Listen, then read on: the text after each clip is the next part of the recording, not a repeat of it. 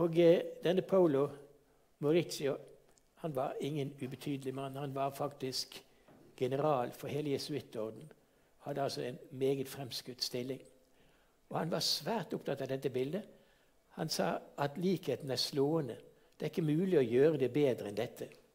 Og Disse jesuittene var jo meget eh, intellektuelle mennesker. Eh, de aller fleste av dem hadde dobbel utdannelse. De var både teologer og filosofer på den ene siden, og nesten alltid også realister. Og Vi skal nå se litt nærmere på dette. Vi skal se på briller. Ved hjelp av briller så kan dere se hvordan rommet er ellers. Er dere der? Altså, det er mulig å få frem vinduene i dette. Og det var noe nytt. Dette at man benyttet seg av de muligheter som eh, en, et glansfullt eh, sak som et brilleglass har. Og Det var en ting vi skal se hos flere. Det var viktig å få vise at de, de behersket denne kunsten, og behersket den godt. Hun laget også et bilde av flere bilder faktisk av Judith og Holofernes hode på et fat. Judith var jo, det var jo altså en krig. Det gamle testamentet fortelles det om det. At disse filistene med Holofernes i spissen ville ta Israel og utrydde det. Og Israel hadde ingen muligheter for å forsvare seg. Og Da meldte Judith seg og sa det at hun kunne klare å fikse det. Hun var meget vakker, og hun eh, gikk til Holofernes og sa at hvis han hadde lyst til å ha en natt, så skulle hun gjerne få det. Og han var veldig lysten. Og så sa hun at det er bare én ting som er litt viktig, og det er at vi kan ikke bare hoppe i seng med en gang. Vi blir nødt til å bli litt kjent med hverandre. Så kanskje vi skal ta et lite glass vin. Og Det syntes fernes var en lur idé. Og Så tok han et glass vin, og der var det sovemedisin. Og ikke før var han sovnet, så ble hans hode fjernet fra kroppen. Og Her ser dere at hun holder da hodet hans i et fat. Så hun var en av Israels heltinner. Så laget, han, laget hun også et bilde etter en samtidig maler som het Correccio i Nord-Italia. Han forandret litt på det, men dette var ikke uvanlig på denne tiden. Og Det ble sett på som helt ok. Så Hvis et, en, et oppdragsgiver hadde lyst på et bilde av Correccio, og det var solgt, så ba man en annen om å lage en kopi. Og Dette er en kopi som ikke er helt lik som dere ser. Forgrunnen er ganske lik, men det er smalere, slik at det er ikke så mye av landskapet som er med. Men hun laget også dette bildet her av Judith med å holde Fernis hode på et fat. Og Det skal vi se litt nøyere på, for der kan vi se hvordan hun får frem alle detaljene. Altså perler i håret, f.eks. Og eh, dette lille båndet hun har rundt eh, på, på, på, armen. Og også litt av sverdet. Og også litt av klesdrakten. Og hodet som ligger på et fat. Altså, Det er en utrolig nøyaktighet. Alle detaljene skal være med, og man skal se at Judith virkelig var et menneske som kunne klare å dåre nesten hvem som helst. Og Vi skal følge dette motivet fordi at svært mange var opptatt av akkurat dette motivet, og ikke minst den vi skal gå gjennom til sist. Ellers var hun altså en av de første som begynte med stilleben. Det var jo en sjanger som var utviklet i nord, i Flandern og, og det nyværende Nederland. Men det ble også populært i Nord-Italia og etter hvert også rundt omkring i hele Italia. For dette var ting som simpelthen skulle vekke appetitten. Det var det ene siden ved det. Og det andre siden var at det også kunne være en allegori over det man kalte vanitas, altså alltings forgjengelighet. For alle disse tingene, det ser vi jo, bortsett fra selve sølvskålen, ville jo litt etter litt råtne bort. Men her ser vi et annet portrett av en eh, maler i Roma, som hun også var en liten stund eh, elev av, som het Frederico Zuccaro, som også er et eh, veldig flott bilde. Og han har en gullkjede rundt halsen som viser at han er blitt adelsmann. Og Det er jo et usedvanlig fint portrett, et karakterportrett. Og vi kan se litt på denne mannen som er langt oppe i 60-årene, og som eh, døde bare fem år efter. Og så dette portrettet av en lege. At det var en lege, kan vi se ved at han holder et, eh, et, et uh, hode. Et skjeletthode. En hodeskalle. Og det var noe man kunne, Hvis kvinner holder det, så er de bortferdige. Hvis menn holder det, og særlig hvis de har en sånn embetskrage, så vet man at de er leger. Det er også et veldig flott portrett. Så la vi til dette store av eh, to av adelsmennene i Milano. Satt inn i en stor ramme som hun også selv har laget, med rettferdigheten på denne siden og visdommen på den andre siden. Og Guds engel imellom dem.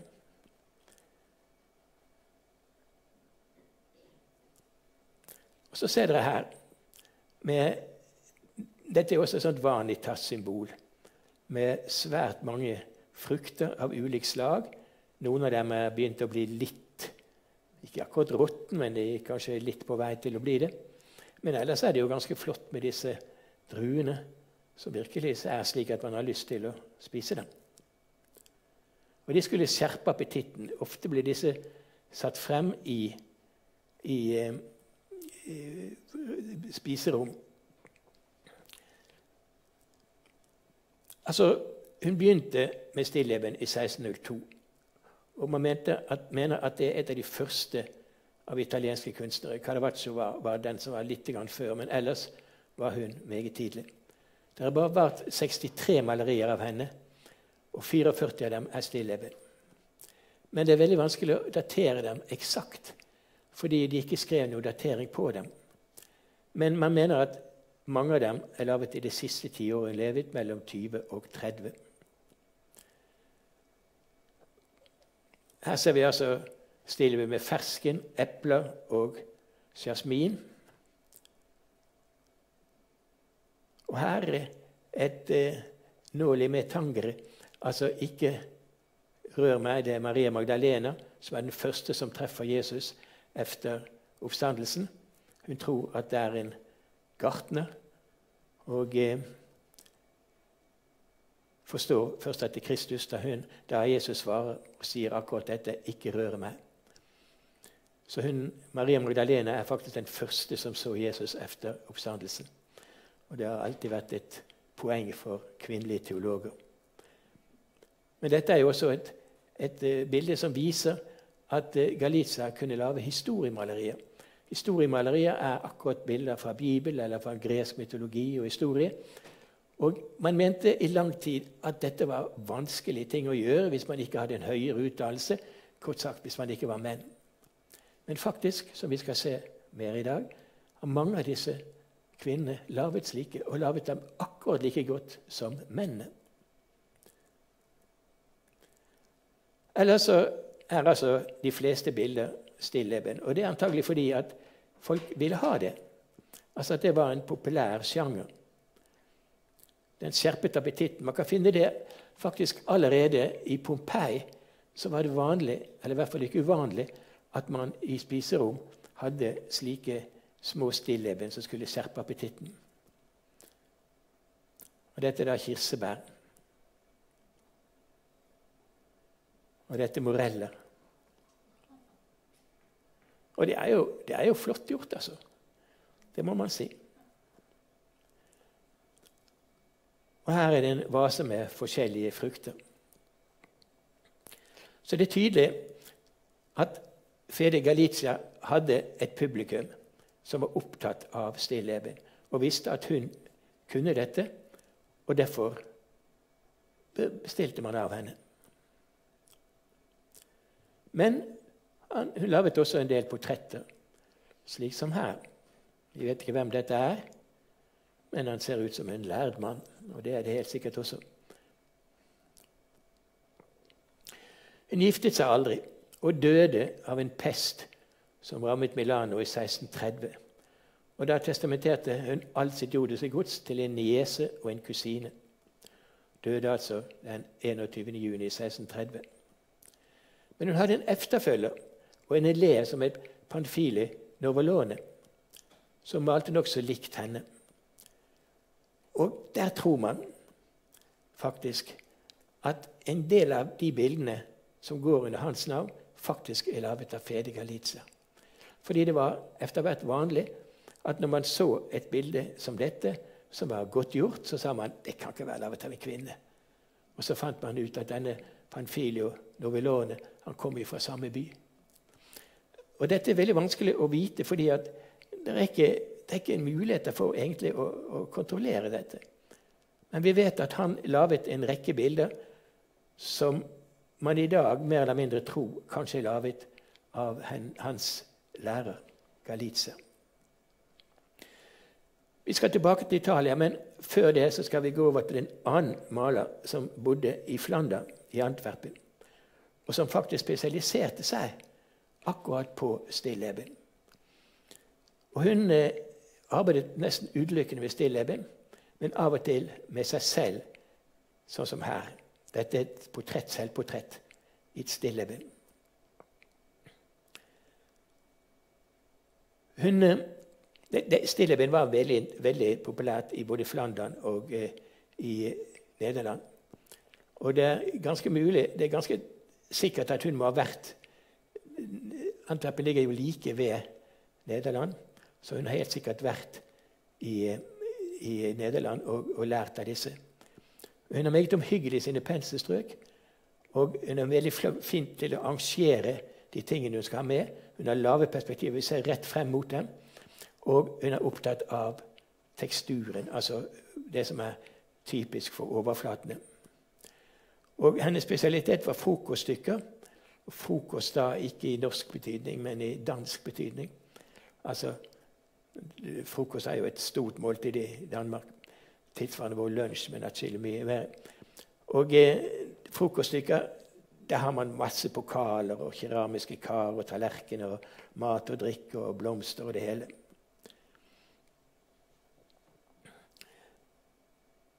Og Hun var den eneste som faktisk tok seg selv med i noen av bildene. Dessverre så vet man veldig lite om henne. Man vet at hun ble døpt i 1594 og gifte seg så sent som i 1639. Og at hun levet det meste av tiden i Antwerpen, men at hun også var litt i Amsterdam og Haag. Men hun er ikke registrert i, i registeret over malere i Antwerpen. og Derfor så vet vi så veldig lite om henne. For det er der vi, vi får vite hvem de egentlig er.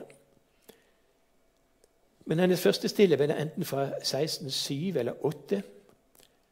Og eh, det er helt klart at hun må ha hatt en meget god lærer. Man har pekt på Osias Bert som en mulig kandidat. Han var den mest kjente stillebenmaler. Men hun kom til å danne skole, og ikke denne Bert. En skole med utløper både til Nederland og Tyskland. Her har vi Osias Bert-saker. Det er både en del blomsterbilder og blomsterbilder var veldig populært i Nederland fordi de hadde man inne i de tidene hvor det ikke var blomster ute, altså om vinteren. Da dekorerte man sine stuer med slike bilder som dette, slik at våren kom inn. Og så tok man dem vekk når våren virkelig kom og man kunne få levende blomster. Ellers så ser dere at dette er også store saker. I 2016 og 2017 var det en utstilling av hennes arbeider i Det kongelige museum for de skjønne kunster i Antwerpen og etterpå i Prado-galleriet i Madrid. Og Dette var katalogen fra Prado. Og Det at så mange av disse kunstnerne nå blir, blir utstilt, det viser jo at man begynner å interessere seg for dem. Vi skal nå se på noen av hennes stilleben. Her ser dere da et sånt med, med vin, både rødvin og og hvitvin og en rekke enkelte ting med og lysestake og eh, en liten grankvist. Og det venetiansk glass. Nokså naturlig i og for seg, for det var det mest kostbare. Og Her ser dere da et stedbild med kalkun og forskjellige ingredienser. Og dette var også typisk noe man hadde i spisestuen. Man kunne godt bytte på de bildene. Hvis man for skulle ha en stor middag med kalkun, så kunne man stille dette ut, og så ble folk veldig opptatt av den maten man skulle få. Her ser man dem liksom i flere stadier.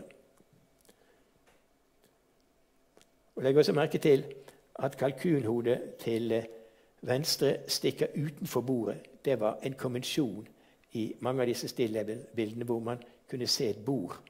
Og Det var fordi at man da kom nærmere. Det virket enda mer troverdig. Og Det kan vi også se her, hvor det fatet som eh, fiskene ligger i til høyre, er utenfor selve kanten. Og faktisk litt av rekene også det. Og Ellers så ser dere da en lysestake og eh, en eh, skål, og der er også en artisjokk og krabber og reker.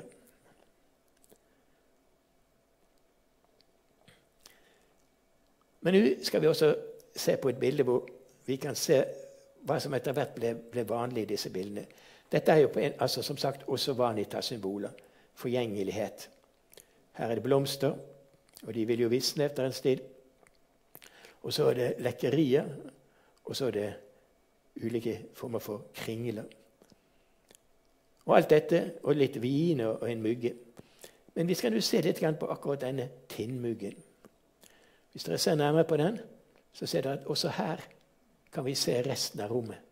Vinduene. Og Hvis dere ser nærmere etter, så kan man se litt mer enn det også. Og Det var slike detaljer man var svært opptatt av. Så selv om når vi ser dette fra lang avstand, så, så, så kan man jo se det her. Men i mange tilfeller så kan man faktisk ikke se det på lang, lang avstand. Man må gå nær opp til dem for å kunne se akkurat disse tingene.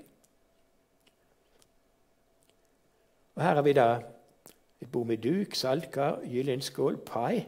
Og det er en ganske flott pai. Den kommer igjen en annen gang også. Og eh, litt kyllingben, og, og det er litt rundstykke. Så her ser dere altså et, nesten et fullt lite måltid. Og sitroner. Og Grunnen til sitroner er at sitroner for det første var mye brukt, men for det andre at det var veldig vanskelig å male. Så sitroner, det at man kunne male sitroner i ulike former, det var noe som eh, var viktig å vise at man kan. Og så Her står dette tinnfatet til venstre, litt utenfor selve bordet. Når vi ser dette, så ser vi altså da en, en pokal og en, en såkalt æresportal til høyre. Og så en blomsterbukett. Og ganske flotte blomster. Og så ligger det noen skjell og noen, noen sånne sneglehus. Men vi skal se litt på denne æresportalen, som altså er til venstre. For ser dere den? Der kan dere se at han har malt seg selv inni den. Vi kan se henne, vi kan se hvordan belysningen var, og i de forskjellige deler så ser vi ulike deler av dette. Vi kan gå enda nærmere. Og Der kan vi se ansiktet hennes, hvor hun eh, har penslene og paletten. Og det er sånne ting som man altså ikke merket i første øyeblikk, men som man skulle merke etter hvert. Og det at man fikk det til, det var sett på som noe usedvanlig. Når vi ser på det slik, så er det jo ingen som tenker på det. De ser at det er litt lys, men man vet ikke riktig hva det er. Man må gå nær for å kunne se akkurat dette. Og ellers så er det jo da eh, ting med oster. Det er jo noe man har veldig mye av i Flandern og i, og i Nederland. Ulike typer oster. Og kringler og søtsaker og, og en vinkaraffel. Der er det meste her. Og Så ser dere kniven. Den ligger litt utenfor. Og Dette med kniver som står utenfor, det er også noe som går igjen i svært mange stilleben. På både 15-, og 16- og 17-tallet. Det hørte liksom med. Og det var fordi det skulle lokke oss inn i bildet. Vi er så nær at vi nesten kan ta i den kniven. Og Her så ser vi jo da noen av disse rekene. Og også noen av dem er litt utenfor. Ellers fisker og litt blomster. Og dessuten østers. Så dette er luksusvarer. Og derfor helt sikkert var det ønsket av folk som hadde råd til slikt. Her ser vi da henne selv i, sånn, eh, i et sånt stilleben hvor hun simpelthen gjør oppmerksom på at hun er spesialist i akkurat dette. Og I bakgrunnen så kan dere se også et lite speil som speiler selve vinduet på den andre siden.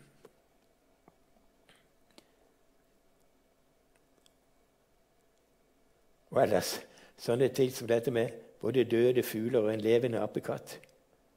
Det er jo ikke veldig vanlig vil jeg tro, med apekatter på denne tiden. I hvert fall ikke hjemme, men, eh, men det er jo en morsom liten sak. Og det at hun lager disse, og dere ser at disse druene er svært godt malt Man har nesten lyst til å plukke dem. Og det er til og med en flue som sitter på ene, det ene eplet til venstre. Og så flere ostebilder med en artisjokk som er skåret over på midten. Så dette er altså en sjanger som var svært populær i Peters. Hun spesialiserte seg på det, for det var også en av de tingene som var karakteristisk for Nederland og Nord-Flandern. Det var at man nå spesialiserte seg på ting. En maler malte ikke hva som helst lenger, men man malte som oftest én eller to sjangre, spesialiserte seg på det slik at man kunne man visste at man hadde et visst kundegrunnlag som var interessert i akkurat disse tingene. Det er første gang man begynner å gjøre det, på slutten av 15-tallet og 16-tallet akkurat på, på, i denne regionen her, altså i Nederland og Nord-Flandern. Her ser vi også kniven som ligger slik at den Og til og med dette tinnfatet som også ligger litt utenfor. Og det, det gjør at vi, vi, har lyst til å forsyne oss med en gang. Og det er jo fristende ting. Også i dette glasset ser vi jo at uh, det er et vindu på den andre siden.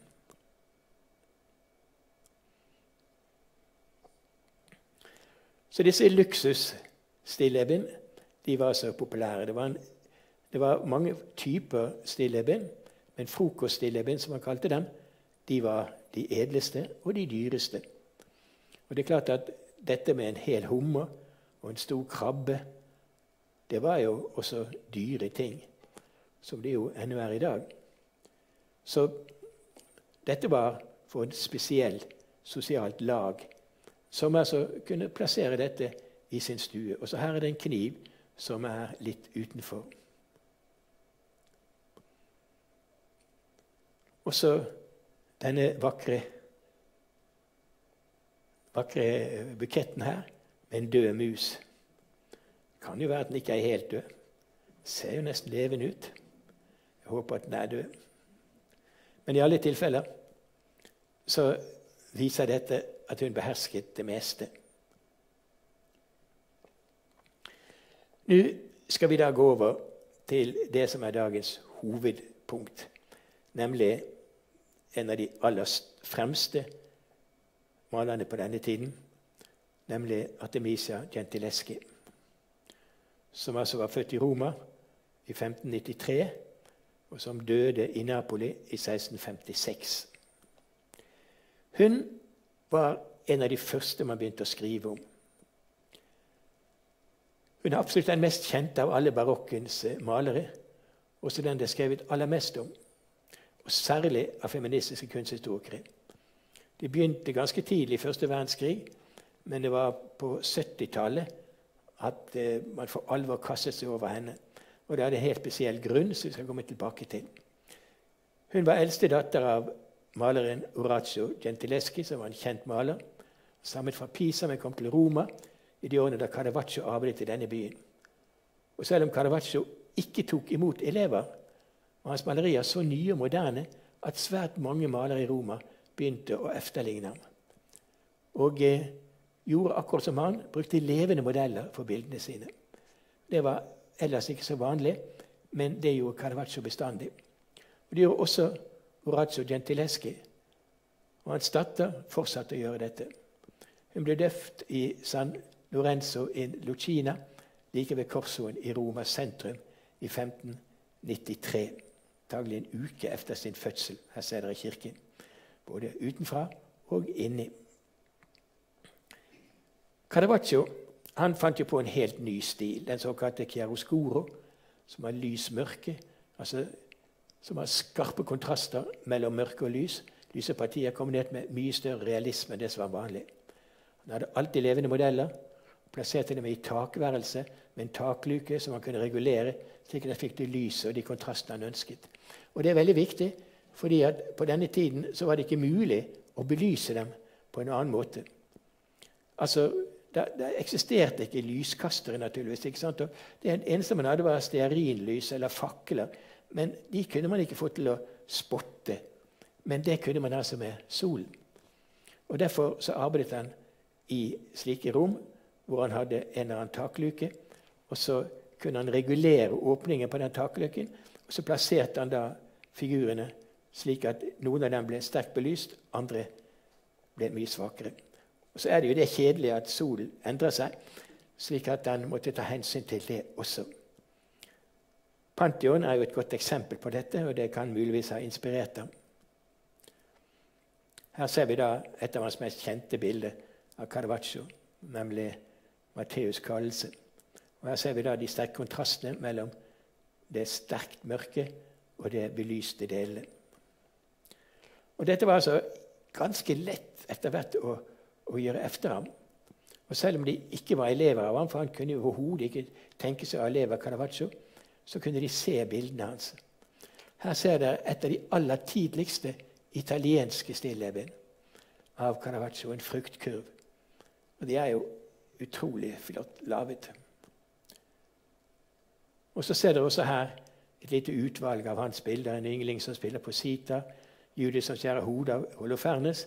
Her er det ikke bare det at man holder hodet hans, men her ser vi at hodet tas av, og blodet spruter. Blodet er riktignok eh, litt underlig malt, men det er nå den sinnesaken.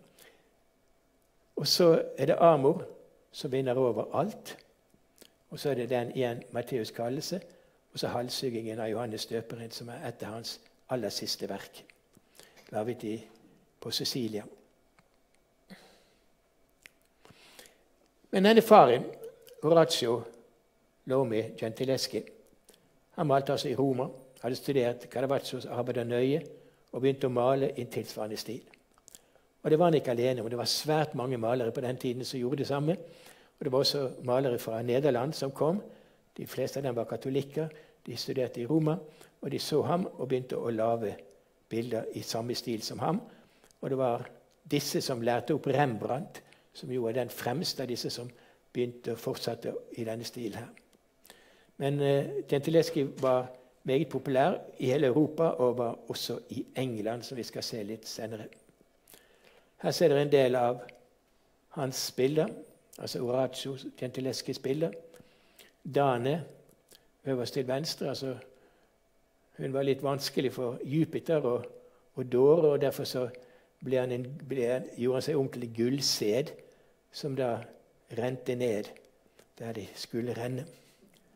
Og så er det Diana, Apollons søster, som var den store jeger. Og så er det Goliat som slår, nei, David som slår Goliat i hjel. Og så er det Amerov syke, og så er det luttspilleren og Josef og Potifars hustru. Han malte altså slike bilder som dette. Historiske bilder, historiemalerier. altså.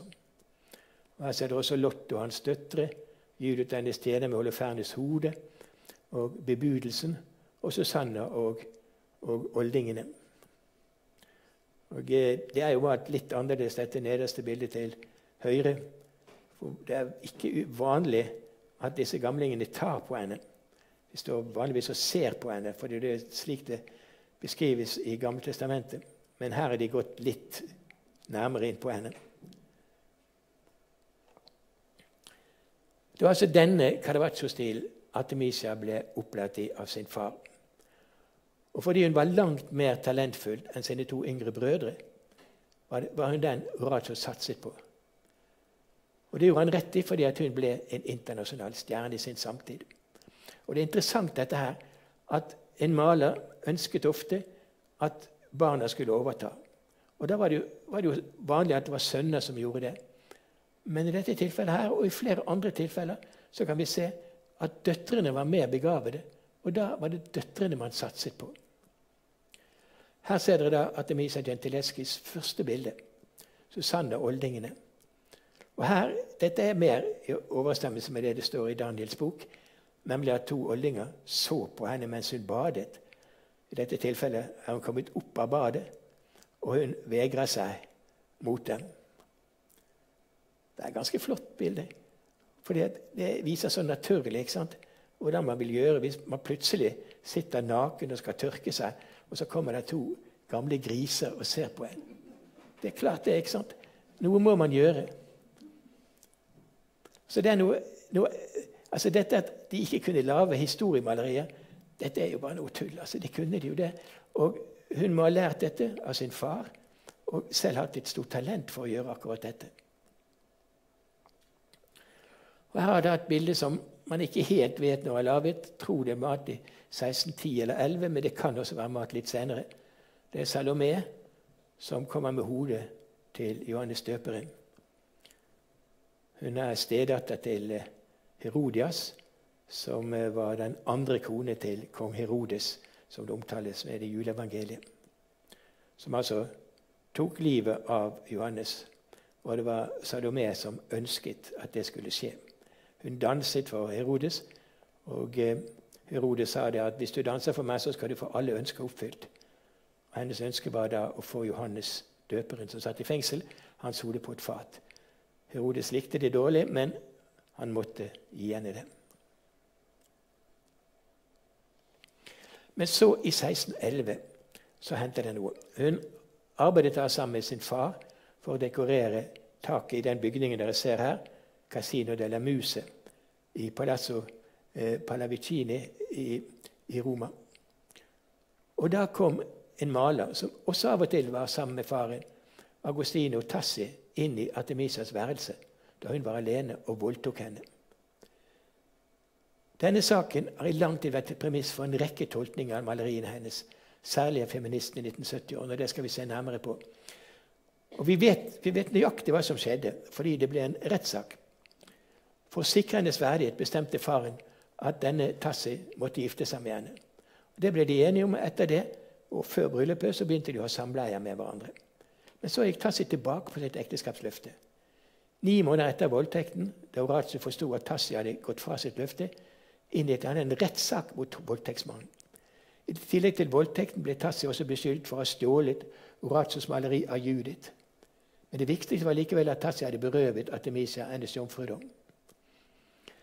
Akkurat det at det er en rettssak, og hvor rettsdokumentene eksisterer, det gjør jo at vi vet at hun ble voldtatt.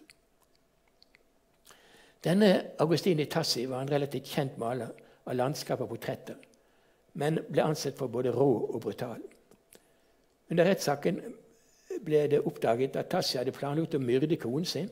som Han hadde vært utro med atskillige ganger, bl.a. med sin egen svigerinne. Og I tillegg hadde han også tenkt å stjele flere av Razzios malerier. Dommen ble at han ble kastet ut av Roma. Men dommen ble aldri iverksatt. Han fortsatte å bo i Roma. Like etter dette så ser vi at eh, Artemisia lager sitt første bilde av Judis som skjærer hodet av Holofernes. Og dere ser at eh, hun er ganske bestemt og brutal i sin måte å arbeide på. Og blodet flyter også her. Og det flyter faktisk litt mer naturlig enn hos eh, Caravaggio. Men dette var et oppdrag fra visekongen av Napoli. Spanske visekongen av Napoli, for Napoli var en spansk by på den tiden. Så det er jo ikke hun som har bestemt dette. Det var en annen som hadde ønsket av henne. Og så ser vi da et annet tema. Vi vet ikke hvilket, hvem som ga henne dette oppdraget. Julie til tjenestekvinnen med Olofernes hode i en kurv. Vi ser eh, Judith med den røde kjolen hun har sverd i hånden, og hun ser til eh, høyre. Og tjenerinnen bærer kurven med dette hodet, for de er i ferd med å flykte, for de må jo komme seg bort. For ellers ville hun uten videre bli drept. Men hun klarte å komme seg bort. Og Judith er derfor blitt en av de store heltinnene for Israel. Og Så lager hun også en visjon av Dane. Der ser at gullseden den eh, kommer ned fra himmelen. Og så er det tjenerinnen som samler dem opp og får dem inn der de skal inn. Dette er nærmest en kunstig befruktning. Men det ble et barn av det. Og Det er jo ganske flotte farger her. Hvit, rød, blå, dyprød blå. Og så disse, disse, disse hvite med litt sånn blålig. Det er ganske flott gjort. I den 29. november i 1612 så giftet Artemisa seg med Pietro Antonio di Vincenzo Ciatesti. Og eh, Da reiste de begge til Firenze. Og Da hadde faren utstyrt henne med introduksjonsbrev rettet til flere av byens øvrighetspersoner. Og Det tok ikke lang tid før hun fikk uendeligheter av oppdrag. Da ville hun ikke bo lenger i samme by som denne Tassi, voldtektsmannen. Og Det interessante der var at hun da begynte å studere musikk og litteratur. Fordi hun mente at hun måtte være på høyde med de adelige oppdragsgivere. Og Dessuten mente hun at det var nødvendig for å kunne lage bilder av motiver fra den antikke litteratur og mytologi og fra Bibelen, som hun fikk i oppdrag å male. Særlig fra Toskan, den Toskana, eller Toskanas storhertugpar, som var svært opptatt av akkurat slike gammeltestamentlige bilder. Så hun har altså studert, og det var ikke uvanlig.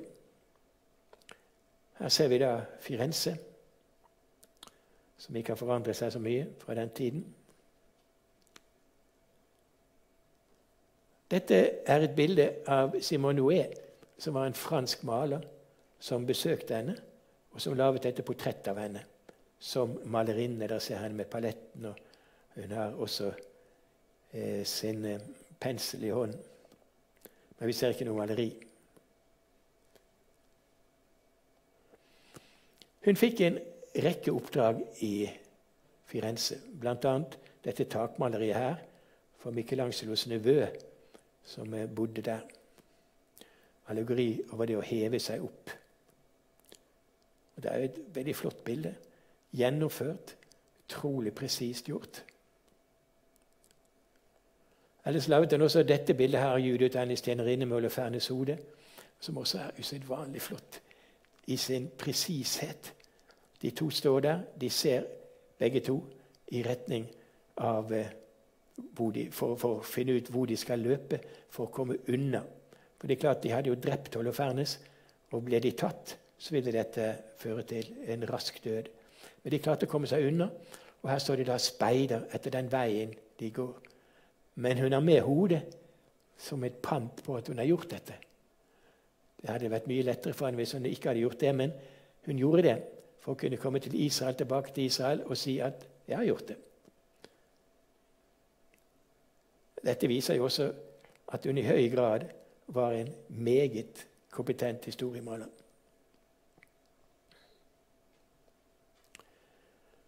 Og så et bilde av Maria Magdalena. Det var jo hun som eh, var den første som eh, traff Jesus etter oppstandelsen. Men hun ble allerede av kirkefedrene identifisert både med synderinden, som Lukas evangeliet forteller om, hun som vasket eh, Jesu ben med sitt hår, og så med Maria, i, eh, altså Maria og Martha som eh, bodde i Betania, og hvis bror Lasarus døde, som Jesus vekket opp. Og så da med, med denne Maria Magdalena. Tre forskjellige kvinner ble slått sammen til ett, slik at man fikk en historie. Og der var Maria Magdalena egentlig en som først hadde vært prostituert, som så var blitt omvendt da Jesus tilga henne, og som så etter hvert ble en mediterende dame. Og Her er vi den botferdige Magdalena i denne fantastiske kjolen, som ikke virker helt botferdig, men for den virker jo som om hun hadde veid god råd. Her har vi igjen et eksempel på at hun går tilbake til det samme motivet. Eller hun fikk et oppdrag å lage flere av bilder av Holofernes hode som ble skåret over. Og da ser jeg at Dette er en litt annen versjon, men hun er meget bestemt, og hun har virkelig kraftige muskler, som dere ser. Og så får hun hjelp av sin eh, tjenerinne. Skjærer det over. Bruker all sin kraft. Holder. Det er faktisk mye mer realistisk enn det Caravaggio gjør.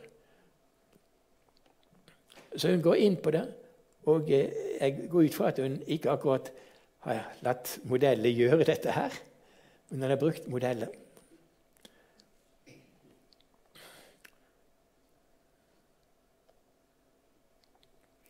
Og så laget et selvportrett av seg selv som Katarina av Alexandria. Og det er sikkert ikke tilfeldig, fordi at Katarina av Alexandria var en altså I dag er man ikke sikker på om hun i det har levet, men ifølge legenden så var hun en eh, dame som på 200-tallet, slutten av 200-tallet ble kristen, var usedvanlig veltalende og intelligent og klarte å overtale eh, store deler av hoffet til keiseren om at kristendommen var den riktige. Det gjorde keiseren rasende, og han satte henne på hjul. Det hjulet brakk, slik at det er det vi kan se her. Og så ble hun til slutt da halshugget. Men hun ble da sett på som den store intellektuelle kvinnen. En kvinne som virkelig var helt på høyde med menn. Nå vet vi ikke om hun har fått eh, Det er godt mulig at hun har fått i oppdrag å lage dette, men det at hun plasserer seg selv i denne rollen, det viser jo at hun ser på seg selv også som en intellektuell, ikke hvem som helst. Hun har også laget et portrett av seg selv som luttspiller, fordi det var hun også utdannet til. Det var også en av de tingene man hørte hjemme når man var kommet opp til, i tilstrekkelig dannelse. Her ser dere et annet bilde av Santa Catarina av Alexandra. Det er antagelig ikke et selvportrett. Men her ser dere også litt av dette hjulet.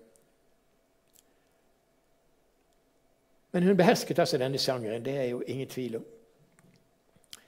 Dette bildet her det er igjen et godt eksempel på at eh, hun viser kraftige mennesker. Denne Jael og Cicera blir omtalt i Dommernes bok i Gamle Testamentet. Det er slik at Cicera, han som ligger, han, eh, han var hærfører for kananittene. Og kananittene de forsøkte å ta Israel. Men de klarte ikke det. Hæren ble ødelagt. Men denne Cicera klarte å komme seg bort. Og eh, han kom da til eiendommen til Jael og eh, hennes far, hennes eh, mann. Og hun så igjen med en gang hvem det var. Men det lot som ingenting. Og det står i Dommenes bok at hun skjulte ham i sin egen favn for at han skulle sovne. Og ikke før han sovnet, så tok hun en teltplugg og så slo hun den inn i tinningen, slik at hodet hang fast i gulvet. Så hun Jael er også sett på som en av de store redningsmennene for Israel. Her ser dere to bilder av dette på forhånd. Ett før og ett etter henne. Og eh, Der får man ikke frem akkurat dette her, at hun var i hans skjød, men det får vi her. Ikke sant? Altså, Dette er mye mer tro mot det som står i Gammeltestamentet. Han ligger, han har vært helt inni hennes skjød, og så har han sovnet, seget ned. Og så grep hun altså til en, en teltplugg og en hammer og slo ham i hjel. Brutalt bilde, naturligvis. Men eh, man var kvitt en mann, en hærfører, som var fiendtlig. Her er det et tredje bilde av Judas som skjærer hodet av Holofernes. Og Dere ser at her går det for seg. Men de er litt like, alle disse. Altså. Judith holder på hodet hans og får hjelp av sin tjenerinne mens hodet går. Og det, jeg har jo aldri skåret hodet av noe menneske, men jeg vil tro at det er ganske vanskelig. Det er masse som skal skjæres over her. Og det ble helt skåret over også. Og så har vi Lucretia, og hun er særlig interessant. For denne Lucretia hun var datter av Brutus, som var den første romerske konsul i 1509 etter at etruskerkongen var blitt, blitt kastet ut av den romerske hær. Og hans datter Lucretia var blitt voldtatt av en av sønnene til den siste av disse etruskiske kongene. Og Dette var så vanskelig for henne at Lucrets, som skrev Romers historie, skriver at hun ikke orket å leve lenger, så hun tok sitt liv etter denne voldtekten. Dette var et bilde man ofte finner i renessansen og barokken, fordi det forteller litt om hvor forferdelig det var å bli voldtatt. Men her ser vi altså at hun gjør seg klar for å stikke kniven i hjertet sitt.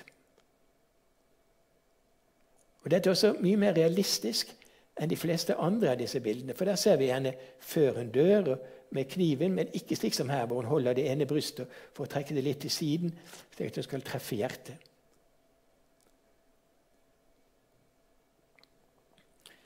Fikk, tre, fikk fire barn med sin ektefelle Pietro. Og de, de, døde alle like etter fødsel. Men det fjerde, som hun kalte Prudensia etter Artemisias avdøde mor, overlevet. Og eh, Denne Prudensia ble utdannet til maler, slik Artemisia hadde blitt. Men hun ble ingen stormaler. I 1620 så forlot Artemisa sin ektefelle, visstnok pga. visse økonomiske problemer. Av den grunn så reiste hun tilbake til Roma, men bodde knapt der. Hun var ustanselig på reise rundt omkring i Genova, Venezia London. Og eh, til slutt så møtte hun sin far igjen i London. Men det er bare viktig å merke seg dette, at hun var skilt og etter hvert var alenemor. Så er hun tilbake til Roma, og da lager hun dette bildet her. Maria Magdalena i ekstase. Fordi i legenden så heter det at Maria Magdalena, etter at hun hadde sett Jesus som oppstanden, så ble hun mer og mer opptatt av å meditere. Og av og til så ble hun henrykket i ekstase. Og Det er det vi ser her.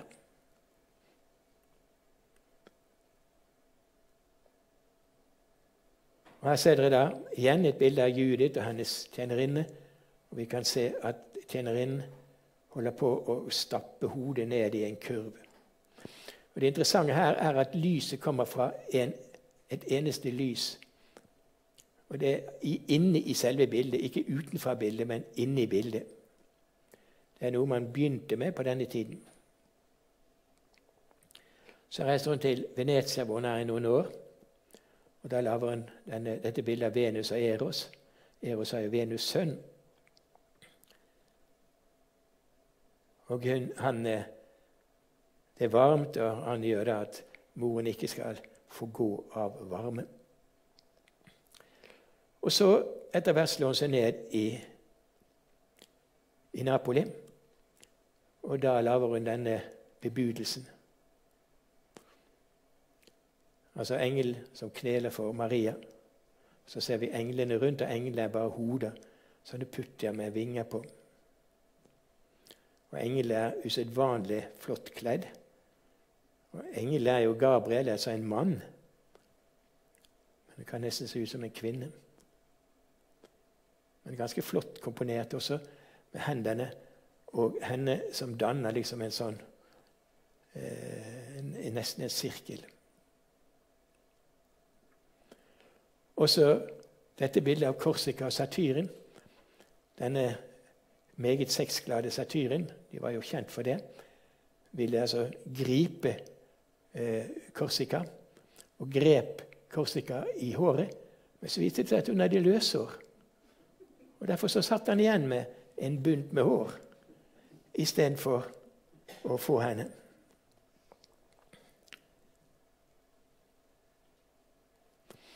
Og så Ester foran Serkses. Og Det er også et interessant bilde. Fordi Ester er en annen av disse som redder jødene. Eh, han var jo perserkonge, denne Serkses. Og eh, han hadde da en eh, nestkommander som het Haman, som hadde funnet på at alle jøder skulle drepes. Og Ester var jøde. Det visste ikke kongen, for kongen var først gift med en annen. Og så ville han ikke ha henne lenger. Og så laget han en skjønnhetskonkurranse, og så vant denne Ester. Og Så giftet han seg med denne Ester, som var jødinne, men uten at han visste det. Og så fikk hun vite at denne Haman hadde tenkt å utrydde alle jøder. Da var hun ikke selv inkludert, fordi de ikke ante at hun var jøde. Men hun fikk da beskjed av sin onkel at hun måtte gjøre noe. Så var det slik at hun som dronning ikke uten videre kunne stå frem for kongen. Det, det kunne hun ikke. Og derfor, Det som da skjedde, det var at hun eh, var i forgården, og hun så at kongen så ned dit, og så lot hun som hun besvimte. Og Så kom kongen og fikk henne opp til seg, og så da sa hun hva hun ville. Du må redde det jødiske folk. Denne Haman med ond. Og så gjorde kongen det. Og på den måten så ble Ester en av dem som reddet jødene fra utryddelse i Persia. Her ser vi da Tintoretto, som har laget det samme bildet. Da ser at også her så besvimer hun, og da blir kongen så interessert og, og opptatt av å hjelpe henne. Så det var meget lurt. Så hun var meget lur, denne Ester, og klarte å få ham på limpinnen.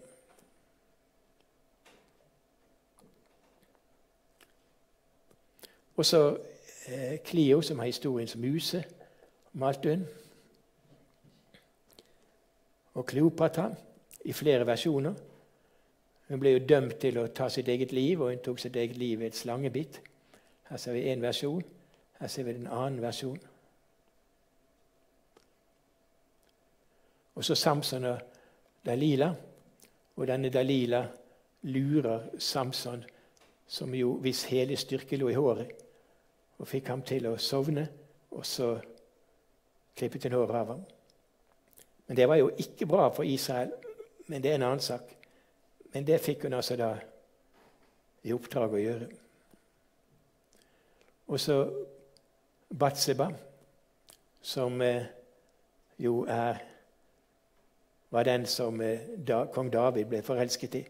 Og For å kunne gifte seg så måtte mannen til Batseba, Urias, han måtte da ødelegges. og Han ble satt da på en Urias-post og ble drept. Og dermed kunne David gifte seg med henne. Og så Lot og hans døtre. Det var jo også et vanlig tema. Og Så skal vi bare se på at han også kom til London i 1638 for å hjelpe sin far, som holdt på med et stort maleri i, eh, i Greenwich, Queens House Og Der var det Anthony van Dijk laget to portretter av Orazio Gentileschi, som var ansatt av kong Karl den første. Den, første, den andre stuerten på Englands trone. Her har vi Greenish øverst. og Så ble dette flyttet dette maleriet senere til Marlborough House i London. Og Da ble det litt ødelagt. Her ser vi van Dijks portrett av kong Karl 1. Fordi Bernini ønsket å lage et portrett, eller han ble, fikk i oppdrag å lage et portrett av kongen. Og Da sa Bernini at han måtte ha kongen i tre forskjellige faser. Og Så laget han da dette bildet her. Ut fra disse, dette bildet her. Ja, Det var en liten digresjon. Det var dronning Henriette Maria av England som ønsket dette eh, ønsket at, eh, at Oratio Gentilese skulle male dette i hennes eget hus, Queen's House i Greenwich. Hun var katolikk og var derfor lite populær. Her ser dere det taket. Det midterste bildet det er da som en allegori over freden og kunsten er laget av faren.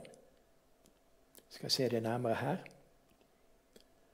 Her er freden og Victoria omgitt av alle de store kunstene.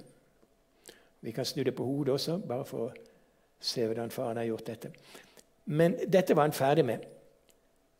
Her har hun laget et selvportrett som kong Karl 1. ønsket å få. Så det er, det er, i England i dag. Men hun, ja, det hun laget, det var vesentlig disse, disse på sidene. Disse lange bildene på sidene av de ni musene. Det er hennes Det hun har gjort. Så reiser hun tilbake like før Karl den første ble halshugget av Cromwell 30. 30. januar i 1649, presis klokken, 12, nei, klokken 14. Og Så reiser hun tilbake til Napoli, hvor hun døde under pesten, pesten i 1656. Her ser vi den angrende Maria Magdalena. Her ser vi Batseba i en ny versjon. Og her ser vi Johannes døperens fødsel, et oppdrag fra Philip 4. av Spania. Og her er et portrett av en adelsdame. Altså, Dere kan jo se at hun er en usedvanlig dyktig maler.